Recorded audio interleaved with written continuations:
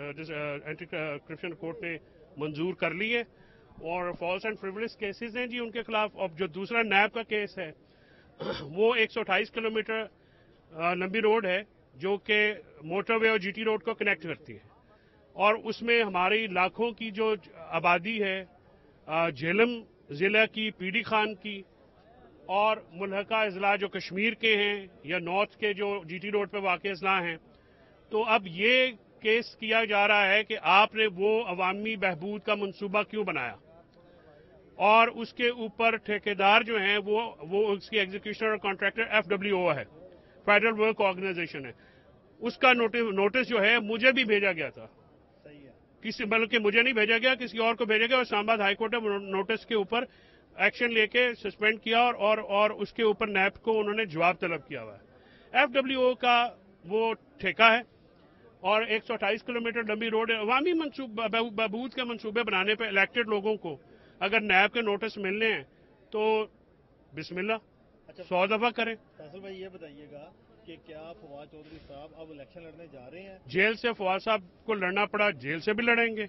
इनशाला पहली कोशिश और यही है कि वो बाहर आके लड़ेंगे अपनी सीट से बिल्कुल वो इलेक्शन लड़ेंगे भी और उनके इलेक्शन जो है वो हम जिताएँगे भी। और इनशाला वो अपनी सीट को अपने लोगों की जिस खिदमत उन्होंने की है जिस तरक्की का, का सफ़र एक आगाज़ उन्होंने किया था। देखिए हमारे इलाके में बहुत ज़्यादा तरक्याती काम हुए हैं लेकिन जिस तरह पीडीएम की हुकूमत आई पीडीएम की हुकूमत ने आके वो मंसूबे बैन किए।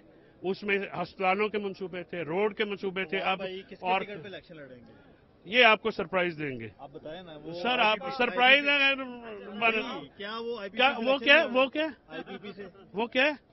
आप हतमी नतीजों पर जल्दी क्यों पहुँचते हैं? नहीं उन्होंने कहा एक होता है गैर हतमी नतीजा। ये गैर हतमी नतीजा। यानी वो आईपीपी में नहीं है। अच्छा आखिरी बात ये बताइए। हाँ?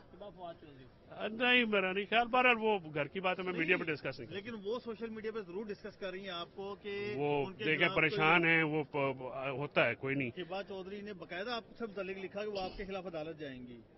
वो यार बात यह है बात बात यह है कि वो परेशान होती है वो बहन मेरी क्या लेंगे वो बड़ी बहन कर लेंगे घर में बैठ के करेंगे आपके साथ थोड़ी करेंगे। आप, आप तो इलेक्शन ही। लड़ मैं तो वकील हूँ यार मैं तो वकालत ही करना चाहता हूँ। अच्छा तो ये बताइएगा कि इलेक्शन में क्या आपको लगता है कि सबक चेयरमैन पीटे हिस्सा लेंगे जिस तरह से उनका केस बढ़ रहा है आगे जा, जा रहा है?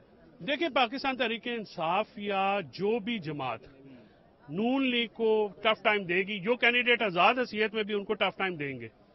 उनको ये वॉक ओवर जो है वो देने के लिए नून लीग को। उन्होंने जेल में रखा है। फवाद साहब का क्या कसूर है? सिर्फ़ ये कसूर है कि वो इलेक्शन आज लड़े तो हैंड्स डाउन जीत जाता है। सिर्फ़ इस वजह से उसको पाबंद सलासल रखा हुआ है ना और उसके उसका क्या गुना है? ठीक है?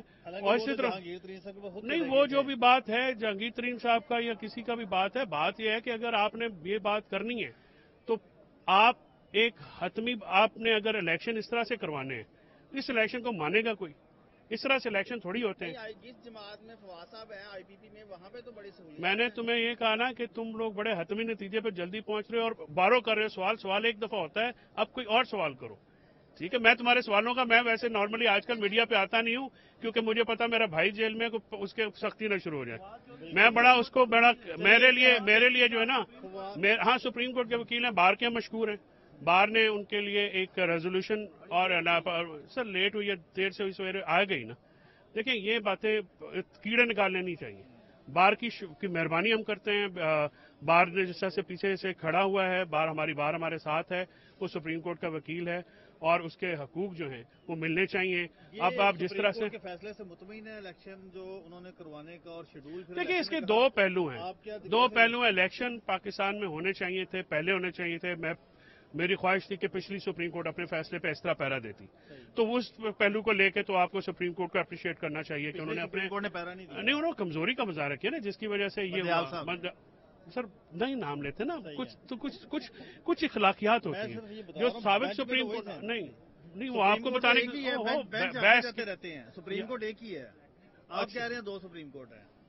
सर आप मैं नहीं कह रहा मेरे मेरे मुँह में अल्फाज ना डालें। आप बड़े साफी हैं। आप बड़े साफी हैं। अच्छा आप सवाल को आपने सवाल किया मुझे जवाब भी नहीं देने दे रहे। नहीं आप नहीं देने दे रहे। मैंने तो आपको कहा मैंने आपको कहा कि पिछली सुप्रीम कोर्ट का जो बेंच था जो चीफ जस्टिस थे।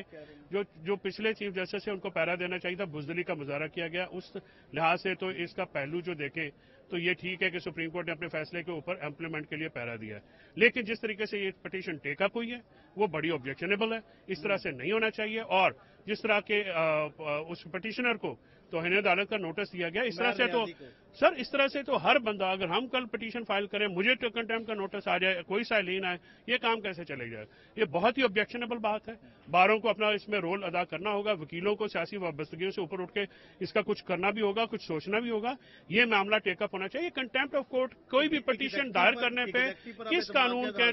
किस कानून के तहत जो है वो आप तोहिन अदालत का जो नोटिस दे रहे हैं उसका तोहिन अदालत के देखिए कोई भी अदालत जो है वो कानून के मुताबिक चलने की पाबंद है। कानून के मुताबिक पिटीशन फ़ाइल करने पे वो अदालत में आए अदालत चाहती तो वो फैसला उनके खिलाफ भी दे, दे सकती थी। और आरओज और डीसी के खिलाफ उनका एक ऑब्जेक्शन है।